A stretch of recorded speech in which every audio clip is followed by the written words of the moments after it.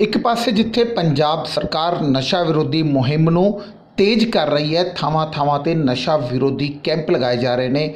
ਮੰਤਰੀ ਆਪਣੇ ਆਪਣੇ ਡੋਪ ਟੈਸਟ ਕਰਵਾ ਰਹੇ ਨੇ। ਇਹੀ ਨਹੀਂ, ਪੰਜਾਬ ਦੇ ਮੁੱਖ ਮੰਤਰੀ ਕੈਪਟਨ ਅਮਰਿੰਦਰ ਸਿੰਘ ਨੇ ਇੱਥੋਂ ਤੱਕ ਕਹਿ ਦਿੱਤਾ ਹੈ ਕਿ ਸਾਰੇ ਪੁਲਿਸ ਅਤੇ ਸਰਕਾਰੀ ਕਰਮਚਾਰੀ ਆਪਣੇ ਆਪਣੇ ਡੋਪ ਟੈਸਟ ਕਰਵਾਉਣ। ਜਿਸ ਦੇ ਕਾਰਨ ਪੰਜਾਬ ਦੇ ਵੱਖ-ਵੱਖ ਜ਼ਿਲ੍ਹਿਆਂ ਵਿੱਚ ਨਸ਼ਾ ਵਿਰੋਧੀ ਮੁਹਿੰਮ ਨੂੰ ਤੇਜ਼ੀ ਨਾਲ ਹੁਲਾਰਾ ਮਿਲ ਰਿਹਾ ਹੈ।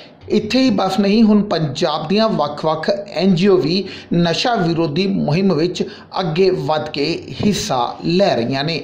ਲੁਧਿਆਣਾ ਦੀ ਸ਼ਹੀਦ ਬਾਬਾ ਦੀਪ ਸਿੰਘ ਵੈਲਫੇਅਰ ਸੁਸਾਇਟੀ ਵੱਲੋਂ ਸੈਂਕੜੇ ਲੋਕਾਂ ਨੇ ਨਸ਼ਾ ਵਿਰੋਧੀ ਰੈਲੀ ਵਿੱਚ ਸ਼ਾਮਲ ਹੋ ਕੇ ਪੰਜਾਬ ਪ੍ਰਦੇਸ਼ ਦੇ ਕਾਂਗਰਸ ਸਕੱਤਰ ਕੁਲਦੀਪ ਸਿੰਘ ਸਿੱਧੂ ਦੀ ਅਗਵਾਈ ਵਿੱਚ ਲੁਧਿਆਣਾ ਦੇ ਮਾਡਲ ਟਾਊਨ ਐਕਸਟੈਂਸ਼ਨ ਤੋਂ ਗੁਰਦੁਆਰਾ ਬਾਬਾ ਦੀਪ ਸਿੰਘ ਵਿੱਚ ਨਸ਼ਾ ਵੇਚਣ ਅਤੇ ਨਸ਼ਾ ਕਰਨ ਵਾਲਿਆਂ ਨੂੰ ਸਤਬੁੱਧੀ ਦੇਣ ਲਈ ਵਾਹਿਗੁਰੂ ਅੱਗੇ ਅਰਦਾਸ ਕੀਤੀ। ਇਸ ਮੌਕੇ ਲੁਧਿਆਣਾ ਦੀ ਏਡੀਸੀਪੀ ਗੁਰਪ੍ਰੀਤ ਕੌਰ ਪੁਰੇਵਾਲ ਨੇ ਰੈਲੀ ਨੂੰ ਝੰਡੀ ਦਿਖਾ ਕੇ ਰਵਾਨਾ ਕੀਤਾ। ਨਸ਼ਾ ਵਿਰੋਧੀ ਰੈਲੀ ਗਿੱਲ ਰੋਡ ਤੋਂ ਸ਼ੁਰੂ ਹੋ ਕੇ ਲੁਧਿਆਣਾ ਦੇ ਵੱਖ-ਵੱਖ ਹਿੱਸਿਆਂ ਵਿੱਚ ਘੁੰਮਦੀ ਹੋਈ ਯੁਵਾ ਪੀੜ੍ਹੀ ਨੂੰ ਨਸ਼ੇ ਦੇ ਪ੍ਰਤੀ ਸੁਚੇਤ ਕਰਦੀ ਹੋਈ ਮਾਡਲ ਟਾਊਨ ਐਕਸਟੈਂਸ਼ਨ ਵਿਖੇ ਵਾਪਸ ਆ ਕੇ ਖਤਮ ਹੋਈ। ਇਸ ਮੌਕੇ ਬਾਬਾ ਦੀਪ ਸਿੰਘ ਵੈਲਫੇਅਰ ਸੁਸਾਇਟੀ ਦੇ ਮੁੱਖ ਸੇਵਾਦਾਰ ਕੁਲਵੰਤ ਸਿੰਘ ਸਿੱਧੂ ਨੇ ਜਨ ਸਮੂਹ ਨੂੰ ਸੰਬੋਧਨ ਕਰਦਿਆਂ ਹੋਇਆ ਕਿਹਾ ਕਿ ਪਿਛਲੇ 10 ਸਾਲਾਂ ਤੋਂ ਰਾਜ ਦੀ ਸੱਤਾ ਤੇ ਕਾਬਜ ਕਰ ਰਹੇ ਲੋਕਾਂ ਨੇ ਨਿੱਜੀ ਸਵਾਰਥਾਂ ਦੀ ਪੂਰਤੀ ਲਈ ਨੌਜਵਾਨਾਂ ਨੂੰ ਨਸ਼ੇ ਦੀ ਗਰਤ ਵਿੱਚ ਧੱਕ ਦਿੱਤਾ।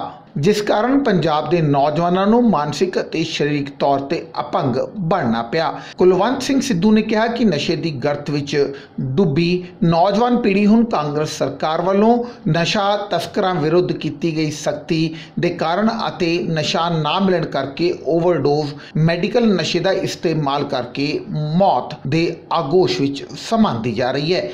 ਇਹ ਨਹੀਂ ਕੁਲਵੰਤ ਸਿੰਘ ਸਿੱਧੂ ਨੇ ਇੱਥੋਂ ਤੱਕ ਕਿਹਾ ਕਿ ਜੇਕਰ ਸਮਾਂ ਰਹਿੰਦੇ ਇਹ ਲੋਕਾਂ ਨੂੰ ਨਸ਼ੇ ਤੋਂ ਨਾ ਰੋਕਿਆ ਗਿਆ ਤਾਂ ਇਸ ਤੇ ਬਹੁਤ ਹੀ ਗੰਭੀਰ ਅਣਜਾਮ ਭੁਗਤਣੇ ਪੈਣਗੇ। ਉਹਨਾਂ ਨੇ ਪੰਜਾਬ ਦੇ ਲੋਕਾਂ ਨੂੰ ਆਹਵਾਨ ਕਰਦਿਆਂ ਕਿਹਾ ਕਿ ਉਹ ਨਿੱਜੀ ਸਵਾਰਥ ਅਤੇ ਰਾਜਨੀਤੀ ਤੋਂ ਉੱਪਰ ਉੱਠ ਕੇ ਦੇਸ਼ ਦੇ ਭਵਿੱਖ ਨੂੰ ਬਚਾਉਣ ਲਈ ਨਸ਼ੇ ਨੂੰ ਜੜ ਤੋਂ ਉਖਾੜਨ ਵਿੱਚ ਪੰਜਾਬ ਸਰਕਾਰ ਦੀ ਮਦਦ ਕਰਨ।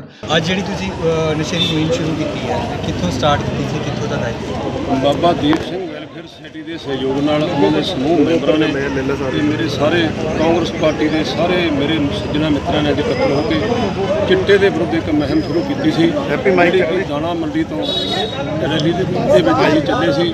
ਗਿੱਲ ਰੋਡ ਫਲਾਈਓਵਰ ਤੋਂ ਹੋ ਕੇ ਚਤਰ ਸਿੰਘ ਪਾਰਕ ਤੋਂ ਦੀ ਆ ਕੇ ਬਾਬਾ ਦੀਪ ਸਿੰਘ ਦੇ ਚਰਨਾਂ ਦੇ ਵਿੱਚ ਧੰਨ ਧੰਨ ਸ੍ਰੀ ਗੁਰੂ ਗ੍ਰੰਥ ਸਾਹਿਬ ਜੀ ਮਹਾਰਾਜ ਚਰਨਾਂ ਦੇ ਦੇ- ਦੇਗ ਕਰਾ ਕੇ ਅਰਦਾਸ ਕੀਤੀ ਹੈ ਵੀ ਕੋਈ ਵੀ ਪਾਰਟੀ ਚਾਹੇ ਉਹ ਕੋਈ ਵੀ ਰਾਜਨੀਤਿਕ ਪਾਰਟੀ ਹੈ ਚਿੱਟੇ ਨੂੰ ਜਿਹੜੀ ਖਤਮ ਨਹੀਂ ਕਰ ਸਕਦੀ ਇੱਕ ਇੱਕੋ ਇੱਕ ਸਹਾਰਾ ਹੈ ਉਹ ਹੈ ਸ੍ਰੀ ਗੁਰੂ ਗ੍ਰੰਥ ਸਾਹਿਬ ਜੀ ਮਹਾਰਾਜ ਦਾ।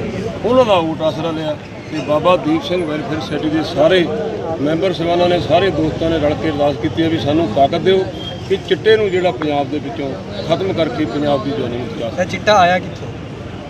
ਸਕੇ। ਚਿੱਟਾ ਦਾ ਪਤਾ ਕਰਨਾ ਪਊਗਾ ਤੇ ਇਹਨੂੰ ਇਹਦੀ ਸਮਾਪਤੀ ਵਾਸਤੇ ਕੀ ਐਕਸ਼ਨ ਲੈ ਰਹੇ ਸਮਾਪਤੀ ਵਾਸਤੇ ਅੱਜ ਇਹ ਵੀ ਇੱਕ ਸੰਸਥਾ ਰੋਜ਼ ਬਣਦੀਆਂ ਤੇ ਰੋਜ਼ ਖਤਮ ਹੁੰਦੀਆਂ ਨੇ। ਮੈਂ ਇੱਕ ਗੁਰਬਾਣੀ ਦਾ ਸ਼ਬਦ ਹੈ, ਨਿੰਦਿਆ ਭਰੀ ਕਿਸੇ ਕੀ ਨਹੀਂ। ਮੈਂ ਕਿਸੇ ਵੀ ਸੈਡੀ ਨੂੰ ਕਿਸੇ ਵੀ ਸਹਿਯੋਗੀ ਜਿਹੜੇ ਦਲ ਜਿਹੜੇ ਕੰਮ ਕਰਦੇ ਆ, ਉਹਨਾਂ ਦੀ ਨਿੰਦਿਆ ਨਹੀਂ ਕਰੂੰਗਾ। ਮੈਂ ਇੱਕ ਗੱਲ ਕਹੂੰਗਾ ਸੰਸਥਾਵਾਂ ਬਣਦੀਆਂ ਤੇ ਖਤਮ ਹੁੰਦੀਆਂ। ਪਰ ਜਿਹੜੀ ਬਾਬਾ ਦੀਪ ਸਿੰਘ ਵੈਲਫੇਅਰ ਸੋਸਾਇਟੀ ਹੈ ਇਹ ਅੱਜ ਇੱਕ ਰੈਲੀ ਤੇ ਤੇ ਹੀ ਸਮਾਪਤ ਨਹੀਂ ਹੋਣੀ। ਇਸ ਦੀ ਕੰਮ ਦੀ ਅੱਜ ਸ਼ੁਰੂਆਤ ਹੈ। ਨਸ਼ਾ ਨੂੰ ਸ਼ਰਾਬਰਾਂ ਨੂੰ ਫੜਨ ਲਈ ਅਸੀਂ ਇੱਕ 100 ਮੈਂਬਰੀ ਕਮੇਟੀ ਬਣਾਵਾਂਗੇ ਰਫਤਾਰ ਨਿਊਜ਼ ਲਈ ਲੁਧਿਆਣਾ ਤੋਂ ਕੁਲਦੀਪ ਦੁੱਗਰੀ ਦੀ ਰਿਪੋਰਟ।